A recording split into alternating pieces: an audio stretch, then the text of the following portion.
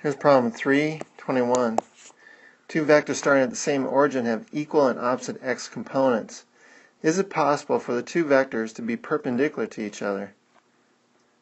Well, here's x, here's y. Let's just assume that we can do this and see what we need. Here's a vector A, and let's say we have a vector B perpendicular to it, such that their x components are equal.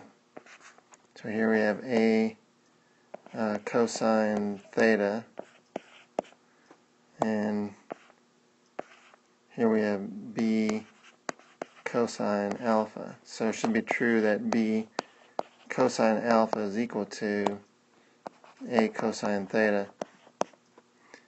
You know, if B is long enough, we can make this happen. So regardless of theta and alpha, and the fact that this is perpendicular here, um, we can alter the length of b to make this possible so that b cosine alpha is equal to a cosine theta. So it's definitely possible for the two vectors to be perpendicular to one another.